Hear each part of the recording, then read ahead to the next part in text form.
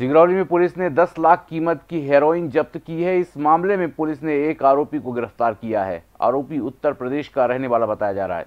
Police अधीक्षक वीरेंद्र कुमार सिंह के निर्देशन पर कोतवाली प्रभारी अरुण कुमार पांडे ने नशे के विरुद्ध एक बड़ी कार्रवाई करते हुए 80 ग्राम हेरोइन बरामद की है। अरुण कुमार पांडे ने बताया कि मुखबिर से सूचना मिली थी कि एक शातिर अंतर्राज्यीय अपराधी संजय सिंह सिरौली में मादक पदार्थ हीरोइन की तस्करी कर रहा है, जिसके बाद टीम गठित कर आरोपी को गिरफ़्तार किया गया और जब उसकी तलाशी ली गई तो उसके पास मादक पदार्थ हेरोइन बरामद हुआ।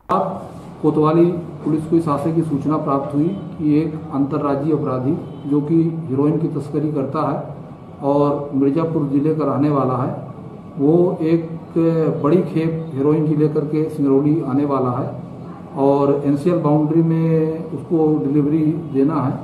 इस सूचना पर,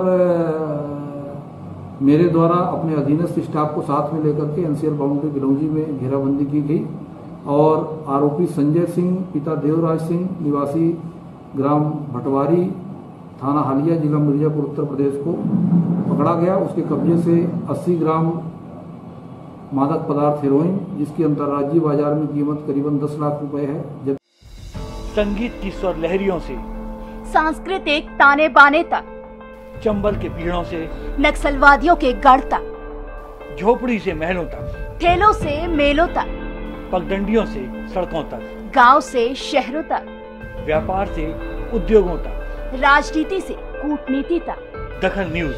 आपके हक